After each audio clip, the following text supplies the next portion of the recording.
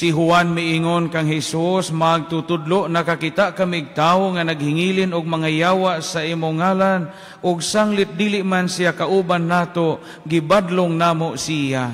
Si Jesus mitubag, ayaw ninyo siya pagdidi, kay walay tawo nga maghimog milagro sa ako ngalan, nga makasultig dautan bahin kanako.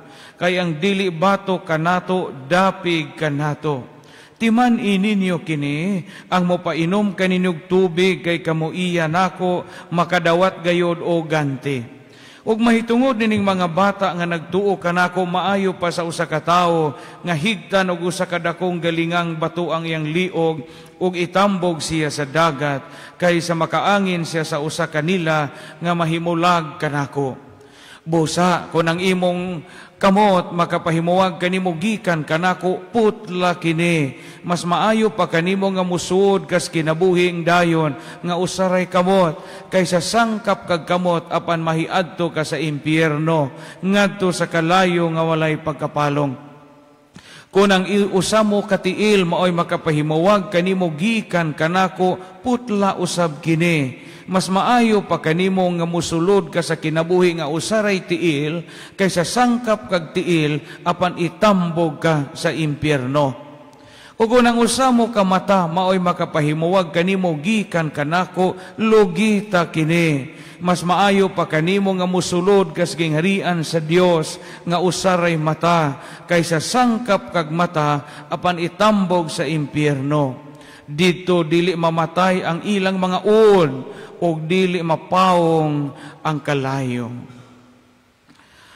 Ang Ebanghelyo sa Ginoo.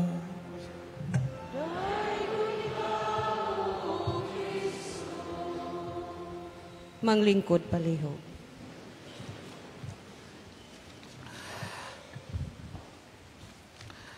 Atong pagtahod sa mga opisyalis sa pangagamahan ng sibil sa atong hamili nga lungsod nga dinadin ni karon na nambong ni natong misa pasalamat. Pasalamat sa Dios uh, isip paghandong masab nato sa atong sumad balilihan atong mahal nga kongresman kongresman Eddie ang inahan sa lungsod atong inahan sa lungsod Mayor Poreza Vice Mayor Tresia atong uh, igsuon usab manang bilen og manong tore nga nanguli gikan sa gawas. Mga sakop sa sangguniang bayan, mga kagawad sa atong lungsod, mga heads of offices sa atong mga nagkalain-laing mga departamento, mga buhatan sa atong munisipyo o sa atong mga national and local agencies, atong mga igsuon sa Carmel Academy headed by uh, Sir John Havinis Jr., mga sakop sa nagkalain-laing mga pundok o hugpong sa atong parokya, mga parokyano katawhan sa Dios, atong mga online viewers mga balilinhon o mga Bisaya o mga Pilipinhon nga nagmonitor nining atong online mass sa nagalalayang dapit sa kalibutan o sa atong nason. Katawhan sa Dios mga lungsuranon o mga parokyano, kaninyong tanan, good morning. Good morning. Og mabuhi ang atong lungsod sa Balilihan. Happy 196 Foundation Day sa atong lungsod sa Balilihan. Hatagan nato ang atong lungsod sa Masipang Pakpak. Kami ni Father Linuel o ni Father Brian, ang kahupungan Community of Priests nga na destino din sa atong lungsod o parokya mo duyog sa ato ang uh, mga opisyalis sa uh, pangagamhanan pag sa ulog sa dakong kalipay nga nakaabot kitag 196. So four years from now, mag-bicentennial ang atong lungsod, mag-bicentennial po ang atong parokya.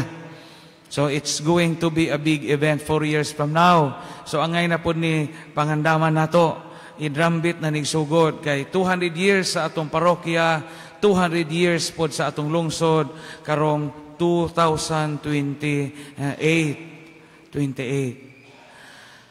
Sa Ebanghelyo karon mga igsuon, gipahinumduman kita sa Ginoong Hesus Kristo nga unta makalikay og likayan nato ang mga kahigayunan nga maghatag og magnudnod nato or magduot nato sa pagpakasala. Gitawag kini sa in English paog occasions of sin. Ingon na itong Ginoong Kristo og ang imong mata makasa lugita og ibalibag. Kay maadyo pa'y musod kas langit nga usaray mata kaysa tibuok nimong lawas ibalibag sa impierno. O niya, og imo kunong kamot makasa putla ibalibag. Og imong tiil mo'y makaingon nga makasa ka putla og ibalibag. Kay maazo pa'y malangit ka nga pungko o malangit ka nga singkaw kaysa maimpirno ka sa tibuok nimong lawas. Ug ato ning literanon pagsabot aw wa nay tiil ni mga manimbahay ron. Jamo na po'y kamot ning mga pare. Jamo na po'y mata ning tanan nga ni adinhe kay kisa may di makasaha. Pero kung saan man din nato pagsabot, ang first part sa akong wali karon, tuguti ko pagpaabot o gamayng biblical background aron masabtan nato ang ebanghelyo uh, before sa mga pamalandong. Kabantay mo, tulo kabahin sa lawas ang gisingle out sa Ginoo. Kamot, mata ug tiil. Wa mo mo yun ang Ginoong Kristo nga kung imong siko makasa putla na imong siko, wa mo magisgot ang Ginoong siko og imong wa mo Ginoo og libakira ka or himantayon ka putla na imong simod. Wa mo maghisgot ang Ginoo og simod. Ngano magyong single out man ni ning kamot tiil og mata. Unsa man ning mga bahina sa lawas sa pagsabot sa mga Hudiyo. Mga igsuon naay karaang panultihon ang mga Hudiyo nga. Ingo dinhi the eyes and the hearts are the two brokers of sin. Ug naa day insurance broker, ug naa po'y mga broker og property sa pagsabot sa mga Hudiyo, kining atong mata, broker of sin. Sabot na matagsay broker. Nga man, di ba, the, the eye is the window of the body. Gatuo ang mga Hudiyo nga kining mata maoy taytayan sa tanan nga mga kailibgon. Tulay sa tanang kailibgon nga mo sangko sa gitawag og passion. Pasyon ka mga kaibog nato nga lawas nun, kaibog o mga gusto nato nga mugna sa tawhanon nga mga kailibgon. Kitawag kini og sensual desires sa in English pa. Nga naman, anha mo magsugod sa mata. Mo bitaw nga na mga tao nga laway og tinanawan. Kana bitaw mo tan-aw nimo ja madugay di kabantay nga hindi walwal ag dila o sa galaway na da ito. Gilara gud ni tawhana. Di ba? Misteryoso maning mata. Mabito na mga taong guilty, di man na maka-eye to eye nimo. Kamantay mo? Yan mga tao bitaw nga na isa nimo, mga tao nga na gitaguan nimo, di man nakaharong nimo og direct mo na usa man na sa basihan o guilty ba na kanang wa di maka eye contact nimo. Ang mga bana, bitaw usahay, mga nauna, nakailain no. Diyan ko, oy, pero tuwa katanawa atong tiki, atong kaarkuba. Kadudahan na. Patanawa so sa imong kalimutaw. Kana yung straight, isang kalimutaw. Nga na limo. Kay usa na sa mga karaang basihanan kung di ba ka mukhang guilty. Kanang makadirikag eye to eye. Karaan na nga pagtanaw. So, kasabot na mo, ano ingon, ginugputla na imong mata, o maoy nga kaingon sa pagpakasa. Kamot, of course, um, self-explanatory. Ang kamot, anha magagikan, ug unsay naa sa utok, unsaon man na pagpadayag, anha man sa imong kamot. Ug nasuko ka, kinsa may musumbag, utok ba na imo kulata, imo man kamot. So, ang kamot mo ay mechanism sa utok, aron ipadayag ag unsay naa nimo. Galagot kasi mga asawa nga, sige pangasaba, karabuntag pangasaba, imo sa imong malaparuhan. Huna-huna man to plano man to sa imong utok, kinsa may hinglaparo ang imong pahat. So mo ni imong kamot mo imong kaingon imo makasa putla. Tiil. Nganong tiil man? Kay ang tiil sa karaang panahon simbolo sa pag ipangyatak. Sabot mo sa pag pangyatak, pagpanunog. Mao ito na na expression ayaw yataki akong katungod. Gikan man sa tiil, tamak ba? Tunog, tamak, yatak. Mga na figurative expression nga og lupigan ka ang figurative expression na, na giyatakan niya akong katungod. Ang gigamit ang image sa tiil. Nasabtan na to? Morning tulo. Pagingon ni Jesus nga putla ning tulog mo'y makaingon nimo nga makasa kay pahinumduman kita nga unta atong tangtangon ang mga kahigayunan, likayan ang mga tao or mga circumstansya nga mo'y makanudnod nato sa pagpakasala. Unya medically it it has a bearing also, di ba? Putlon magyud na makadaot sa tibok lawas pananglitan kanang maso na diabetic na pag-azo gagangren na tong tiil. Di ba sa may mahitabo mo yung man doktor nga i-amputate na to ni. Mo di pa na putlag tiil kay ganang nang na o niya wa na uh, circulation sa dugo o niya na itom na di ba sa mga masobraan nagka, grabe nang taas ang sugar putlon kay aron di mapiktahan ang tibok lawas. Ani na ta sa ikaduha o katapusang bahin sa atong pamalandong karon, occasions of sin. Sa atong kinabuhi, tulo ka mga kahigayunan nga diin kita makasala. Primero, bad practice.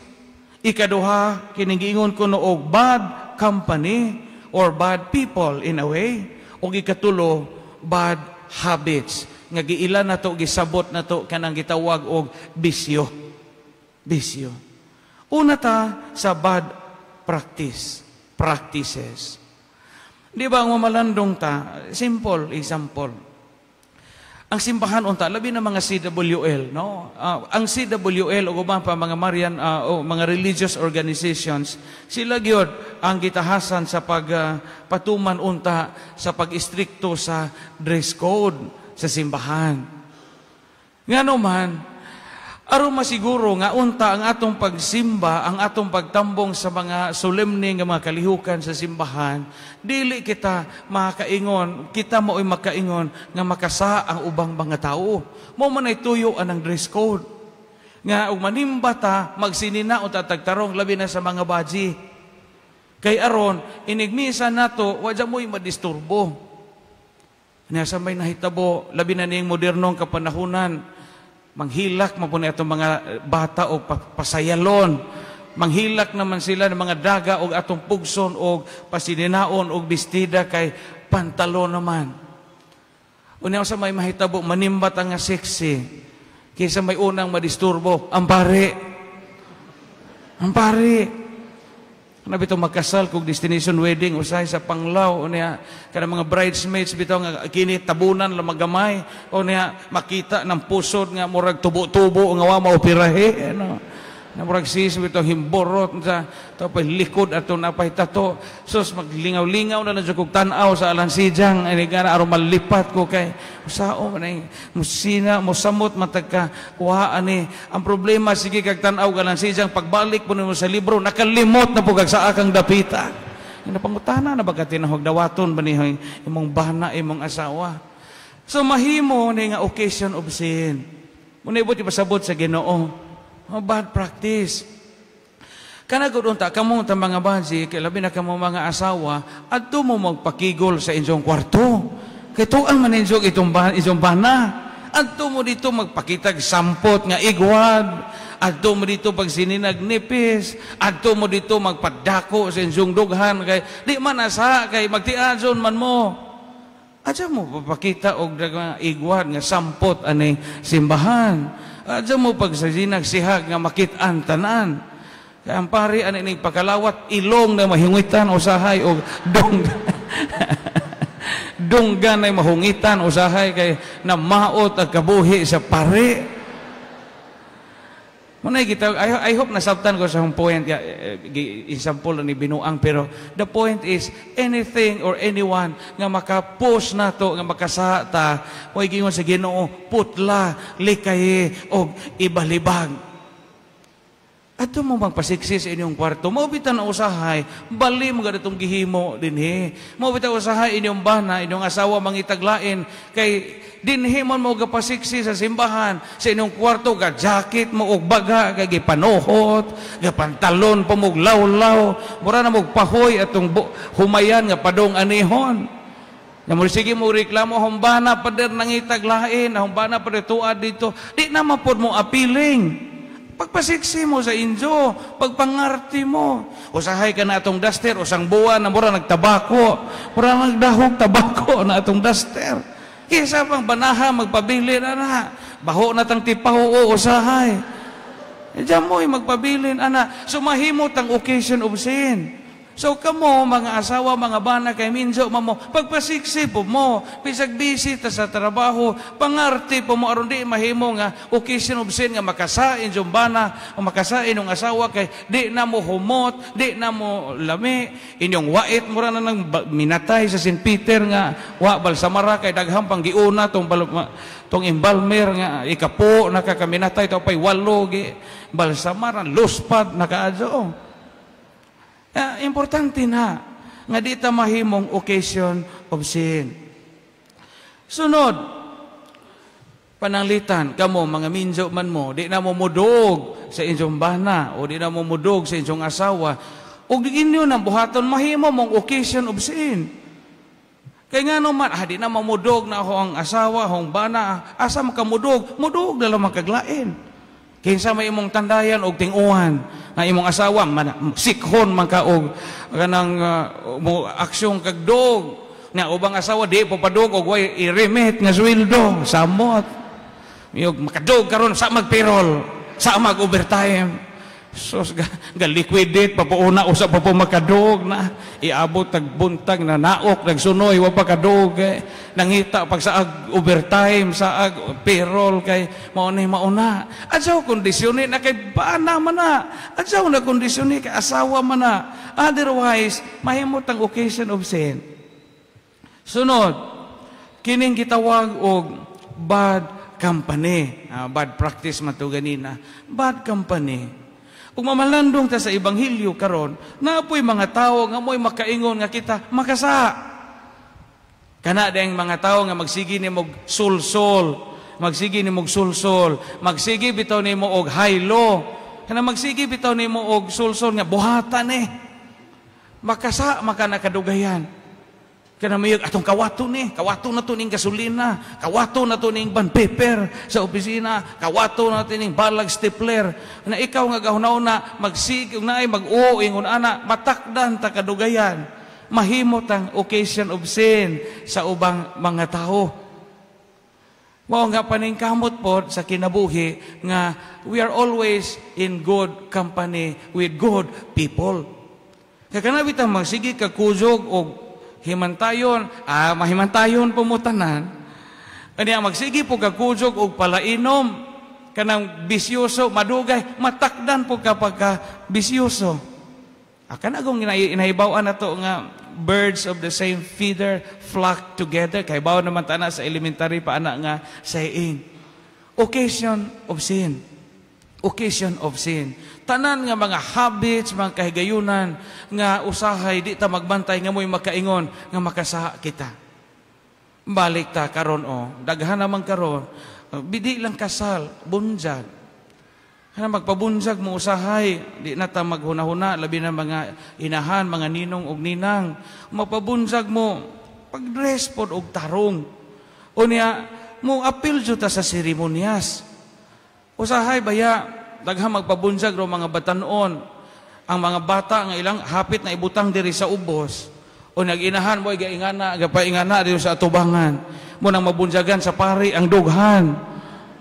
Kay mura man pog bata nga mura pog og bata kay buaw man pod ah, manikamot nga dita mahimong occasion of sin ingon na Ginoo imong mata imong kamot mo'y nakasa imong tiil putla ug ibalibag kay basig ug maunay makapaimpierno nato.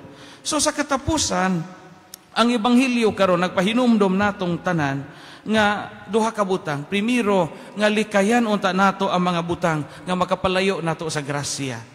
Ikaduha, kung ang mga occasions of sin atong malikayan, malayo ta sa sa, malayo ta sa panuway, maduol ta sa Ginoo. Karon, og mangutana ta, isip pari, isip mga parokyano ug katauhan sa Dios, unsa may mga occasions of sin nga kanunay naa sa atong kinabuhi karon og sa atong palibot, sa atong panimay ug sa atong dapit. Unsa may mga haylo sa sa nga naa kanunay nato. Maningkamot nga ato kining malikayan. Happy anniversary ug mabuhi ang lungsod sa Balilihan.